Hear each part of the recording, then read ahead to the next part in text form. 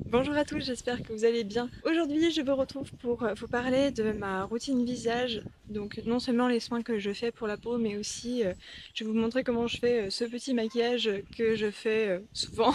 Oui, j'inclus ce petit maquillage dans ma routine soins parce que, et je vais vous en parler dans une vidéo qui va arriver prochainement, c'est grâce au maquillage que je me suis remis à soigner ma peau. Avant j'avais une routine vraiment très minimaliste, mais je me suis rendu compte au fil des années souvent entre le minimalisme et la négligence, il n'y a qu'un pas. Donc j'ai arrêté de ne rien faire pour ma peau. Et quand je dis ne rien faire, c'est vraiment que je me contentais de me laver le visage avec de l'eau et du savon, mais avec trois grossesses, avec le temps qui passe, avec le stress et tous les éléments du quotidien, eh bien ma peau était dans un état plutôt lamentable. Je vous expliquerai tout ça plus en détail dans une prochaine vidéo.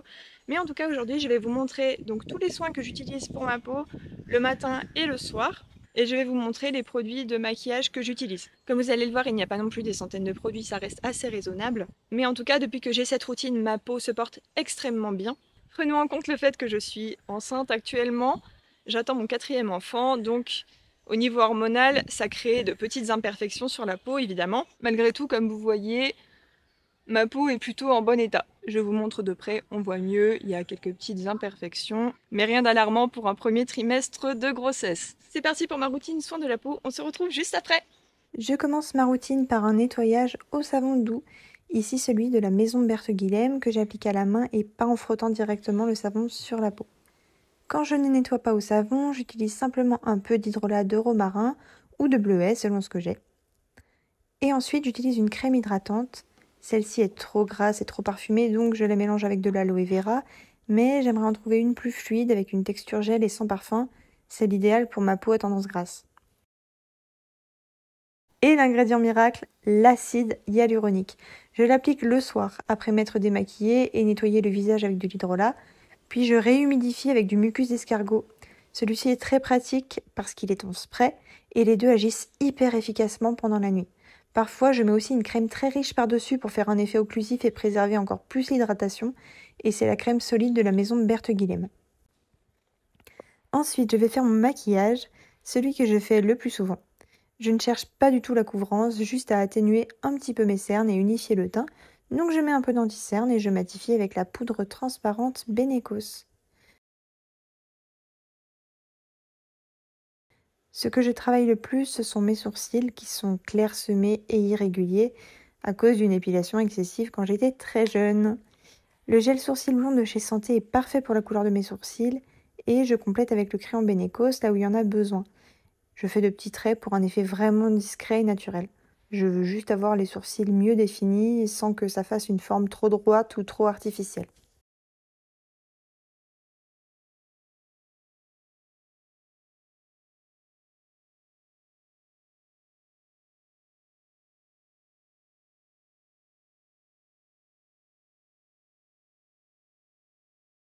Je vais appliquer deux fards à paupières de la palette Conspiracy. Pas bio du tout, mais étonnamment, les compositions sont plutôt acceptables.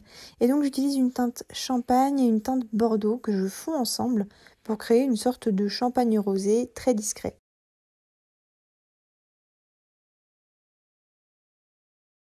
Mon blush, c'est à la méthode vintage, c'est-à-dire qu'il s'agit d'un rouge à lèvres.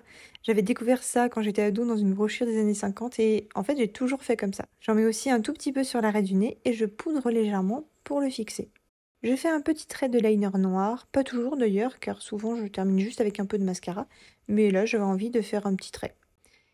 Et je termine donc avec mon mascara marron, c'est le mascara Avril. Comme j'ai déjà les cils assez longs et visibles, je retire l'excédent et je sépare les cils avec une petite brosse. Comme ça, je suis sûre d'avoir un effet léger, vraiment discret et sans paquet. Et je vais aller sécher mes cheveux dehors. Avant, il y a quelques années, je ne me maquillais plus du tout.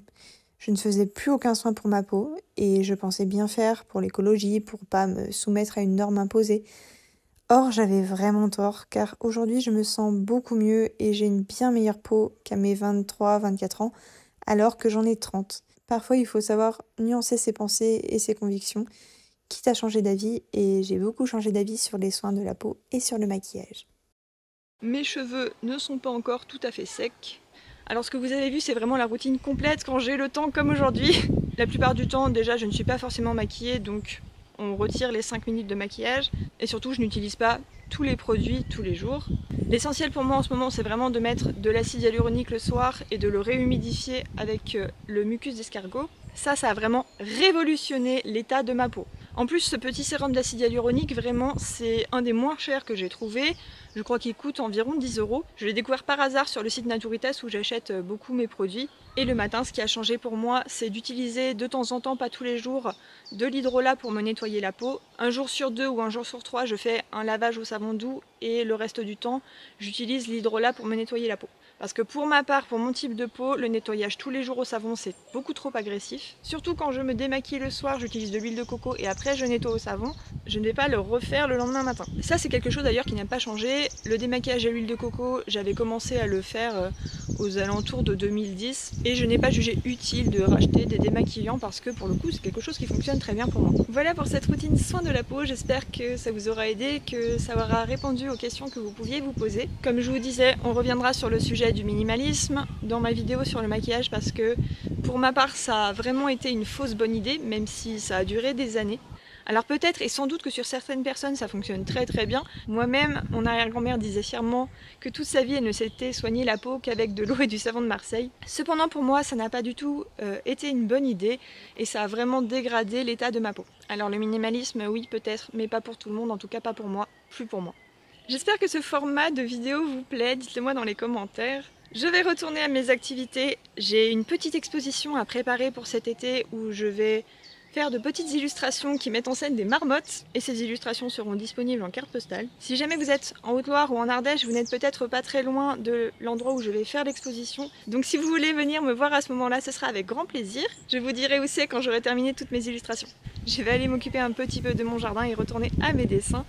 Et sur ce, je vous souhaite une très bonne journée et je vous dis à bientôt dans une prochaine vidéo.